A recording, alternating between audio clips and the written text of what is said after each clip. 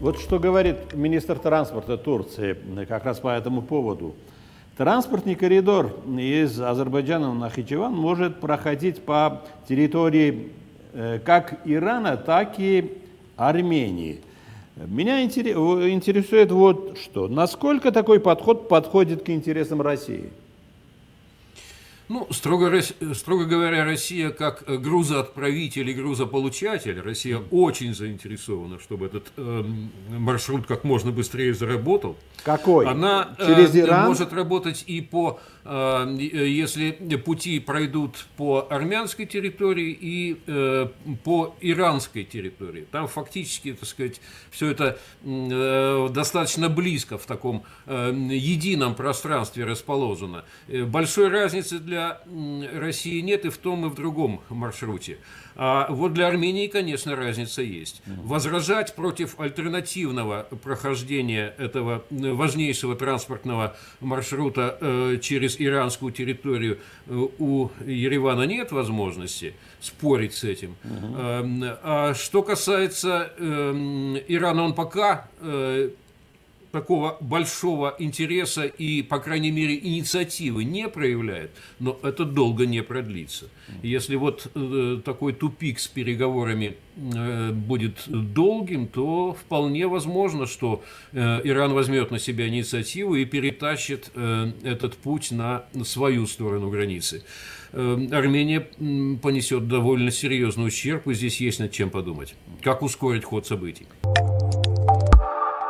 Բաքուն ասում է միջև ամեն ինչ չհամաձայնեցնենք։ Դե կա տրամաբանություն։ Նույն նույն հաջողությամբ էլ կարծում եմ այդ հարցն է կդայք, որ ժամեր առաջ Ալիևը ասաց, որ ես ընդհանրապես պատրաստ չեմ ստորագրել եւ նման նախադեպ չկա, որ ստորագրես մի բան, որը որ ամբողջական չի։ Խոսքը վերաբերում էր խաղաղության պայմանագրի այդ ծեր ասած նաև կետերի, հա, կետերի մասը, որովհետև շատ բաներ դերևս համաձայնեցված չի։ Ու այստեղ է տարակուսելին պարոն Մնացականյան, որ հայկական կողմը 5 պակաս ցույց է տալիս, որ պատրաստ է ստորագրելու։ Դա երկու մասով կարելի է անցալել։ Առաջինը, որ դա մանևր է, որբես այդպեսին դա դե դեմոնստրացնում է, որ հայկական կողմը այդ տեսեք մենք գնում ենք խաղաղության, պատրաստակամություն ունենք իրական խաղաղության, գուցե եւ նաեւ վախի մտնոլորտից, որ հետեւաբար գիտենք ինչեր կարող են սпасել, օր առաջ ուզում է մաքսիմալ կոպիտ ասած ալևից փոկել մի թուղթ, որով որ գոնե ինչ որ չափով կարելի է իրավաբանորեն սահմանափակել նրա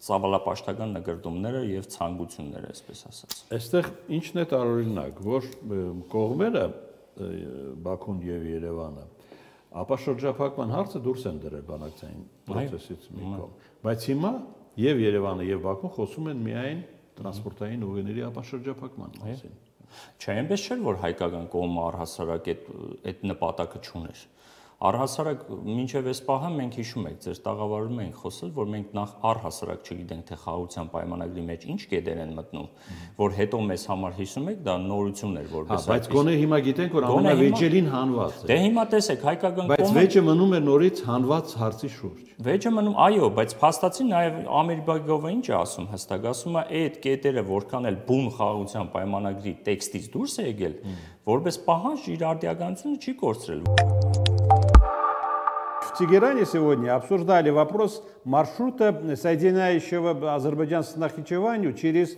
территорию Ирана. Это отдельный вопрос, вы думаете? Это да? вот это тот вопрос, вот, видите, они вернулись к позиции. То есть это не э, относится к теме Зангизорского коридора? Это здесь две позиции. Первая практическая, Азербайджан заявил практически, он начинает отрабатывать, ну, так называемый, условно называемый Зангизурский коридор через территорию Ирана. Mm-hmm. И а Иран в этом заинтересован, потому что он, э, как транзитная сторона, может контролировать эту зону прохождения маршрута на, через Иран на территорию Турции. Есть другой вариант, это прохождение через Зангизурский коридор, где иранская сторона считает, что все же этот э, коридор будет находиться под контролем ну, не прямым контролем России. Кстати говоря, Аверчук, в общем-то, вице-премьер, который побывал с визитом в Ереване, он сказал, что без участия России коридора этого не будет. А почему? Возникает вопрос и так далее. Почему такая уверенность, что э, этот коридор может работать без участия, не сможет работать без участия России? Опять-таки загадка, вопросы, на которые трудно отвечать. А вот что говорит министр транспорта Турции, это тоже важно, по-моему. Э, транспортный коридор из Азербайджана в Нахичеван может проходить по территории как Ирана, э, так и Армении. То есть для Турции все равно, да? Нет, для Турции, вот, а тут опять-таки позиция следующая, что турки заняли гибкую позицию. Это связано не с проблемами Азербайджана, а армянских отношений, а это связано непосредственно с проблемой, э, которая существует на Ближнем Востоке. Турция в данном случае поставляет плечо Ирану уже завязывая на свои коммуникации. Так бы они обходят Иран, подставляют плечо, проявляя солидарность в его позиции, которую он сейчас занимает на Ближнем Востоке. И завязывает его эти коридоры, э, это коридор через Иран на себя. Это есть мотивация, даже вот если появляется этот коридор, общая коммуникация, появляется возможность, условия в случае каких-либо осложнений вести э, свои войска для охраны этих коммуникаций. Как и в России, кстати говоря, если будет задействован коридор, в случае каких-либо осложнений, она получает юридическое право обеспечить охрану этой коммуникации, как отвечающей национальным интересам.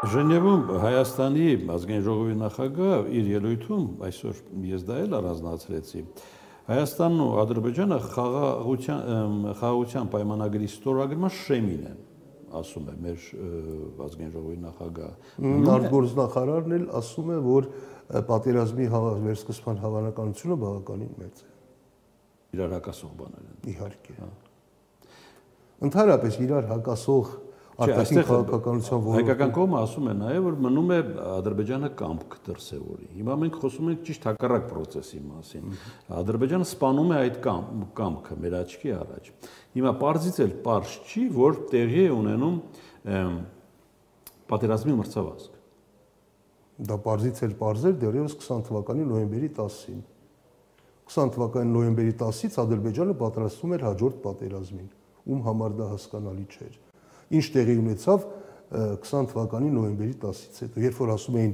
Հայաստանի իշխանությունները Արցախի 70%-ը հանձնեցին, ոչ 70%-ը չէին հանձնել, 100%-ն էին հանձնել։ Ուղղակի 70%-ը Ադրբեջանին էին հանձնել, 30%-ը Ռուսաստանին։ Հետևաբար հետագա տարիների հիմնական գործունեությունը այն էր, որ Ադրբեջանը Ռուսաստանի բաժին, այսպես ասենք 30%-ը վերցնում էր եւ արդյունքում եւ իսկապես էլ վերցրեց։ Ընդ որում վերցրեց ռազմական ճանապարհով, մաս-մաս, նաև քաղաքական, նաև դիվանագիտական, նաև ինչ որ առևտրում վերջի փուլում ռազմական ճանապարհով։ Դա հիշեցնեմ այն ժամանակ, երբ Հայաստանի իշխանությունները խաղաղության դարաշրջան էին բացում։ Но процесс интеграции Грузии в Евросоюз фактически приостановлен. Точно, да. Это не то, что практически однозначно. Можно смело сказать, что Европейский Союз точно подтвердил, что это приостановлено. Сейчас до выборов. До выборов. Э, Пата, скажите еще одно. А чем обусловлено использование украинской темы в предвыборной кампании? Это, конечно, очень печальный случай. Да, да. Если по, ходить сейчас по улицам Грузии, городов Грузии, увидите, что есть баннеры вывешены, где показано, с одной стороны, разрушенные города Украины, а с другой стороны, цветущие города э, Грузии. Это mm. даже немножко аморальностью пахнет, потому что получается, как будто Грузия выбрала мир, а армия, так Украина выбирает войну, а Украина не выбирала войну, это не выбор в Украине. Россия, по нашему мнению, по моему мнению, большинство мнению Грузии, Россия реализовала ничем не обоснованную агрессию против Украины. Украина не провоцировала никак Россию. Просто грузинская мечта хочет перед выборами показать, что это разные кейсы, разные дела. Грузия и Украина. А на самом деле это одно и то же. Я считаю, и мои друзья, и многие в Грузии считают, что Россия сперва там, правда, да, реализовала свою агрессию против Грузии в 2008 году. А сейчас это продолжение в Украине. Это не то, что Грузия цветущая, а Украина разрушенная. А то, что, то, что сейчас происходит в Украине, более ужасной, масштабной форме, в Грузии произошло в 2008 году в течение пяти дней. И, кроме против этих разрушенных домов в Украине, если честно говорите, честный правитель захотел бы использовать эти фотографии украинские, так должен был и повесить разрушенные дома города Горы. Горы недалеко от как раз Схинвалского региона, и там ужасные кадры существуют до сих пор, как гибнут люди, как страдают, как горят дома. Вот надо показаться лицо России, как Грузии, так и, так и Украины. Но нет, Грузия дистанцируется от Украины и говорит, что то, что происходит в Украине, это дело Украины, то, что произошло в Грузии, это дело Грузии. И между ними нет никакой, общей, никакой общности, нет, потому что у России свои проблемы были у Саакашвили в 2008 году, а сейчас у России свои проблемы с Зеленским. Գալով նորից մեր ռազմական բյուջեի հարցին, որը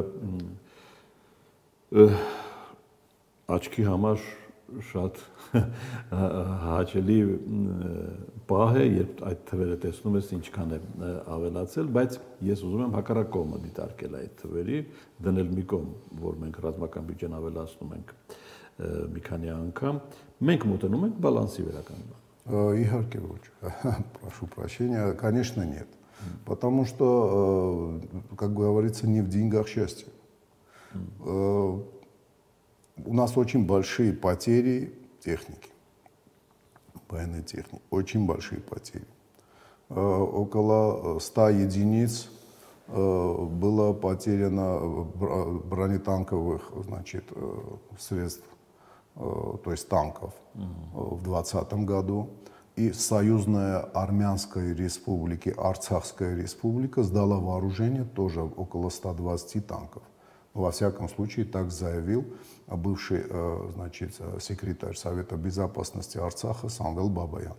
120 танков, около 100-120 танков, 150 единиц артиллерии средней и крупной, э, среднего и крупного калибра.